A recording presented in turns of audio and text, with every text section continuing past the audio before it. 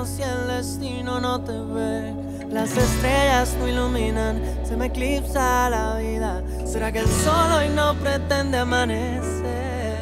Ay, dime cómo has logrado confundir las noches. amigos, seguimos aquí en De Levante, pasándola muy bien, iniciando esta última de las últimas semanas que tiene el mes de agosto, que se va rapidísimo, pero aquí seguimos también trayéndoles notas, invitados, amigos que nos visitan.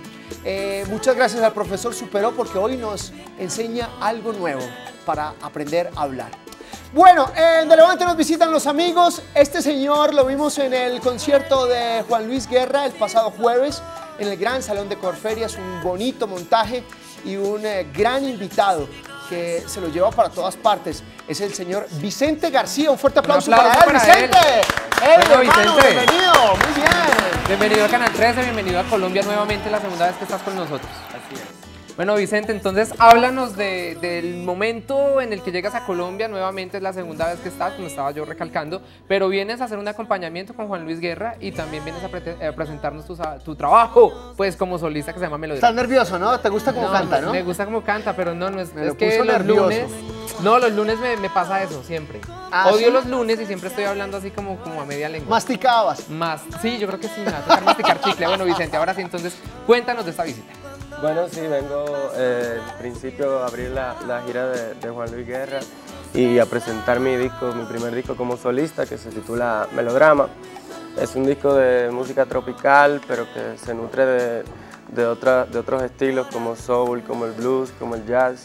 Eh, y es en esencia 10 temas compuestos por mí eh, y es mi primera presentación como solista. Mira, ahí lo tiene Amador en la, Aquí lo en la tengo. mano, ¿no?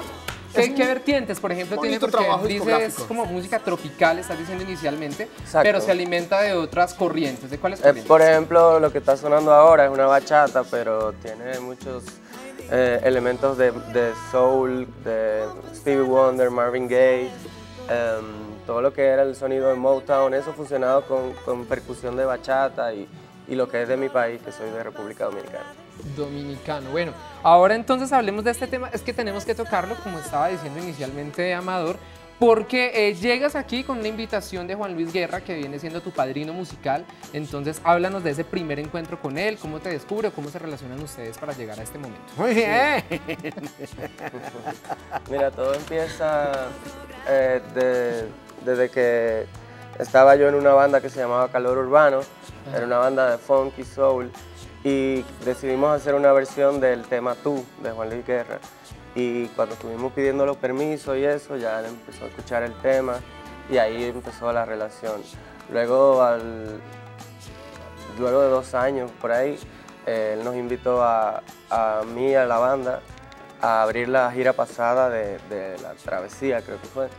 Y en ese momento yo em, me di cuenta de la fuerza que tenía la, la música y los ritmos dominicanos, caribeños, en otros países. Y yo me enamoré de ese sentimiento, de tener una, una identidad musical y una identidad cultural también. Y, y por eso decidí emprender un proyecto solitario. Vicente, o sea que tú debes sonar muchísimo en las emisoras de Juan Luis. Juan Luis tiene emisoras allá. Sí, sí. Y suenas a la lata, Sueno en, día y noche. Sueno en cualquiera. En cualquier emisora, Amador. En cualquier Pero mira, emisora, no Ahora que le estaba tocando el tema del, del decías que te estabas ena- o te enamoraste entonces de la música tropical y de cómo eso le permitía conectarse con mucha gente. ¿Qué música escuchabas inicialmente o de qué, pues de qué música estaba basada de pronto la banda? Bueno, la banda era básicamente de funk y soul, mucho Stevie Wonder, mucho Marvin Gaye, em, todo ese sonido, Donny Hathaway, eh, de- del soul de los 60, 70. ¿Y ustedes hacían covers o ya componían? No, no, éramos, eh, hacíamos nuestras propias canciones, pero muy, muy influenciado por lo que era el funk de los 70. Eh, luego yo también, por otro lado, escuchaba muchos boleros eh, y creo que eso fue lo que terminó de... Una de- buena combinación. Eh, por favor, ¿puedes cantar eh, la canción que unió tu amistad con Juan Luis Guerra? Por Un pedacito de tú. ¿Sí es tú? Esa ¿cierto? versión. Sí.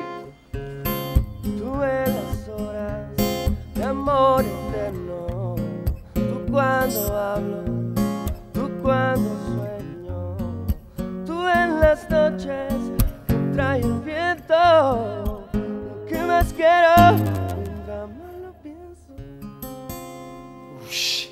Ah, increíble, ah, hágame el favor, Qué la voz. talento, además, eh, realmente esas, eh, esos, esos rastas te ayudan a tener una conexión con el Caribe, ¿no? no sé, yo realmente no, no conecto mucho lo, lo que hago con la música, con, lo que, con la forma en que me veo, simplemente es algo que, que lo llevo y que en algún momento me lo voy a quitar, pero seguiré haciendo ¿Te lo música. vas a quitar? No, No, ¿qué tal no, que no, no, pierdas no. el poder?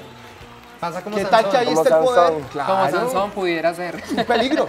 No, pero, por ejemplo, estabas hablando de música como la de Stevie Wonder o estabas eh, hablando de todas esas influencias que tenías. Pero ¿en qué momento empiezas a escuchar música de Juan Luis Guerra o esa música caribeña cómo te da? Bueno, uno como, como, como dominicano y como latinoamericano, desde pequeño está oyendo la música de Juan Luis Guerra y yo creo que, que todo el mundo ha oído la música de Juan Luis Guerra por su padre y después por convicción propia eh, empieza a gustarle. Pero yo empecé a, a verlo como, como una influencia Ajá. como tal hace alrededor de 3, 4 años y a verlo como, como un patrón a seguir. Eh, artistas versátiles así me, me empezaron a interesar como Juan Luis Guerra, como Robbie Draco, que, que no se atan a un solo estilo, sino que... Sino que pueden ir de un lado a otro y les va muy bien. Pero la diferencia de composición, cuando estabas inicialmente en tu banda, a estar eh, como solista, ahí, digamos, eh, resaltas más la parte lírica. Sí, eh, eh, como era una banda de funk, era Sí, muy claro. movida, muy up tempo, eran más temas de, de fiesta, de salir. Esto es más nostálgico, más melancólico, más melodramático. Más para cortarse las venas, porque Sí. estábamos escuchando inicialmente los ensayos previos, ¿no? Y de verdad que le llegaban a Increíble, qué buena voz, felicitaciones. Mira, te quiero presentar a la niña de nuestro programa, es una mujer hermosa colombiana. Por supuesto, estoy muy contenta de tenerte aquí. También eh, aquí en el Twitter están todos muy contentos porque dicen que qué voz la que tú tienes, que eres un Gracias. talento increíble y que no te habían visto en Colombia, que esperan verte un poco más cerca. Es más, te preguntan que por este tiempo, ¿dónde vas a tener presentaciones o eh, dónde vas a estar, en qué ciudades? Bueno, también? realmente eh, tuve un par de presentaciones hace dos o tres días y ahora mismo lo que estoy es ya promocionando y dando a conocer mi música para venir pronto a, a- a presentarme de nuevo. Mira, ¿Y aquí dónde tenemos... pueden encontrar? Eh, pueden encontrar información y, y todo acerca de mi música en vicentegarciamusic.com. En Twitter me pueden encontrar por Vicente García G y en Facebook eh, tengo un fanpage que es Vicente García.